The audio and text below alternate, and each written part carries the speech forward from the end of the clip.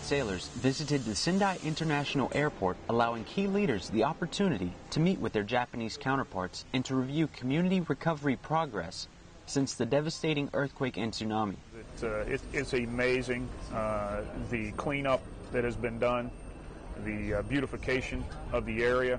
It's a real honor and privilege to come back here, uh, both to see the area, but also to remember the uh, memories of uh, many Marines and soldiers and airmen that worked very, very hard alongside the Japanese government self-defense force. Another aspect of the visit was evaluating the success of the homestay program that brought 25 children from Oshima Island to Okinawa to participate in a cultural exchange and to provide emotional relief to those affected by the disaster. Lance Corporal Matheus Hernandez, Oshima Island, Japan.